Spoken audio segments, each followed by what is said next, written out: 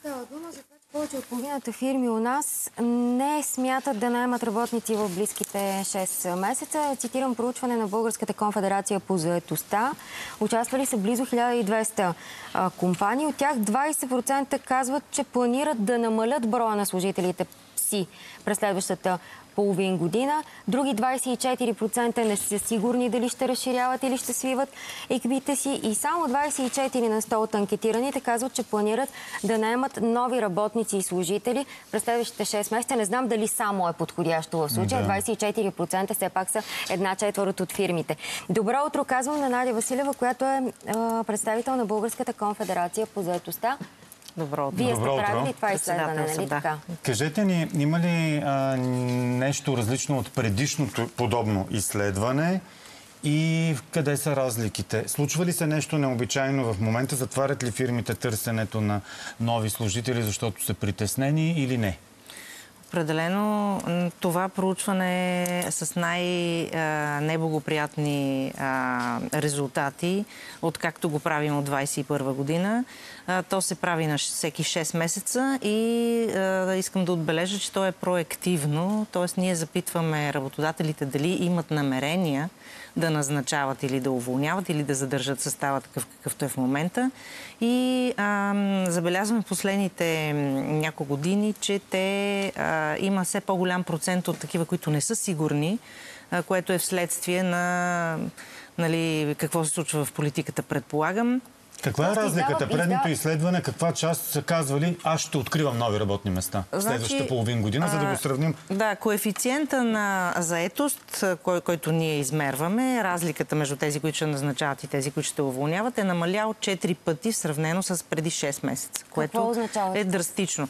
Ами, какво това означава, че компаниите не са сигурни какво ще се случва в следващите 6 месеца и а, за това задържат своите намерения за назначаване. Сега, въпреки, че има много отворени работни места. Това ли означава, че се свива бизнеса и че а, бизнеса не само няма да търси нови кадри, но може би и ще се освобождава от част от тях? Или означава, че бизнесът няма кого да назначи да наеме? Кое от двете е в по-голяма степен вярно? Комбинация от двете, но, но второто, което казахте е с по-голяма тежест. Няма хора? Няма хора. А това намаление, може ли колеги да върнем предното нещо? Предната графика, понеже видях намаление 20%. Това намерение ли е 20% от работодателите да съкръщават да. хора и да ги махат? Това е намерение. Ето го. Първото е увеличение, 24% ще търся. Намаление, т.е. 20% всяка а, пета а, компания, фирма. да, казва, че ще намали своя средносписъчен състав. Има ли разлики в две посоки по индустрии да, и по региони. Да, и по региони. Тоест, кои индустрии са така най-песимистично настроени и по региони, предполагам, че София и големите градове повече Там индустрията... Там пише плюс 74, това пък означава ли, че тук в целия този район на Западна България всички ще търсят нови хора. Значи, знаете, че София винаги е била центъра, който най-много събира работните Той е до Видин тая карта нагоре. А... От Сандански до Видин. Говориме за Софийския регион, да, където традиционно имаме най-висок резултат. Разбира се, тъй като го правим, както казах, вече на 6 месеца. Миналите 6 месеца резултатите за Варна и Бургас вследствие на сезона на морето бяха по-високи и сега са съвсем нормално по-низки и имаме по-голяма концентрация в Софийска област. Съвсем нормално е някои от хората, които вече са приключили да работят на морето, да се, да се върнат. върнат в София и да търсят препитание там но тук говорим за работодателите и тъй като от а, две години забелязваме спад в, а, да кажем, сектор информационни технологии, този спад продължава да, да расте, което е доста неприятно, но там пък позициите не са чак толкова много, както в производство. И, пример, в производството в момента имаме намаление от само 2%, но това се равнява на много позиции, които няма да бъдат затворени, тъй като когато едно производство или нали, предприятие в производството каже, че а, ние имаме отворена позиция за машинен оператор, uh-huh. зад нея могат да седат десетки или дори стотици отворени позиции, само че те са, а, се водят като машинен оператор. Има ли нещо, което вас ви изненада в това изследване?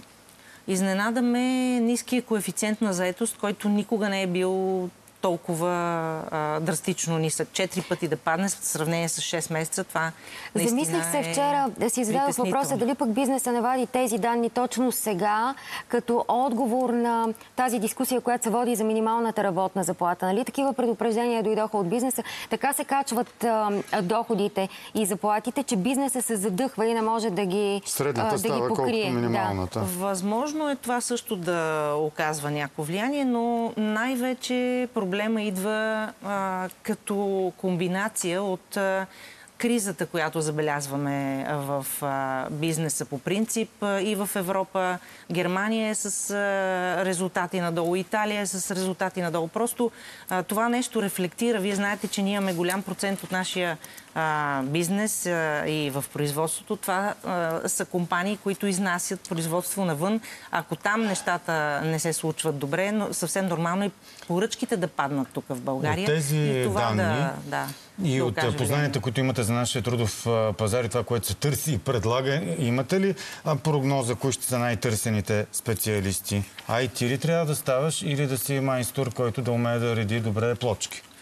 В случая, тъй като IT забелязваме едно а, така намаляване на, на търсенето, а, хората, които се насочват в а, IT, трябва да бъдат а, така по-внимателни какво точно да учат, защото а, определено изкуственият интелект ще е нещото, което а, така ще води и а, отново IT ще има значение, но а, малко по-различно от Плочките няма да ги лепи IT. Това означава ли, че такъв тип професии ще вървят нагоре и като търсене, и като заплащане, а... за които не казват неквалифициран труд, ама пък първо дали не е квалифициран е друга тема. Трябва да си квалифициран да го правиш. Въпросът е, че може да не си с висше образование. Аз съм сигурна, че в момента лепящите плочки mm-hmm. са много по-търсени. За това а, лошото е, че а няма хора. доближават ли тези на висшистите и надминават ли ги в някои райони? Абсолютно ги надминават и, и се увеличават, но проблема е, че действително липсва, фи, физическа липса имаме на хора, които да влезат в трудовия пазар. Е, нали внасяме отвън сега? Ами ние внасяме, но те не са достатъчни. А, във всички случаи по, а, за 23-та година Агенцията по заедостта извади цифри, че на бизнеса му трябват а, 268 хиляди души. Според мен са много повече. Има много отворени работни места, които не могат да бъдат запълнени. И а, това е точно дисбаланса между търсене и предлагане, който имаме. Имаме хора, които търсят работа, но работата, която се предлага, не е тази, която а, биха заели. И съответно има много хора от трети страни, които биха искали да дойдат в България и да ги заемат тези позиции. 260 хиляди. Да. Толкова по обобщени справки се търсят. Не, не се търсят. А Това какво? е а, гап или разликата. А, толкова хора ни липсват на пазара. Е, значи толкова за да може търси. бизнеса да продължи. Не, те не се търсят в момента, защото някои компании, като знаят, че не могат да ги намерят, те не отварят и от, mm-hmm. работни места. Те а, работата, която има в а, една компания, разпределят между съществуващите хора, което затормозява и а, процеса вътре, защото хората не могат да поемат 3 в 1, 2 в 1. Това е изключително много важно. И бизнесът просто се затормози от тази политическа а, импотентност, бих казала, в последните няколко години. А, това според мен е изключително важно. Трябва да разкрепостим вноса на хора, който все още буксува също и а, естествено да привлечеме всички, които искат да работят. Да. А, аз се радвам, че Агенция по заедостта направи някакви стъпки в тая насока, а, да създаде платформа, където да се а, нали, регистрират хората, които искат да работят, но тук трябва да натиснем, за да може а, действително възрастните хора и хората с телк, които все още така са неглижирани, да имат възможност да работят колкото а, може, за да са полезни на бизнеса. Да се включат и те на пазара на труда.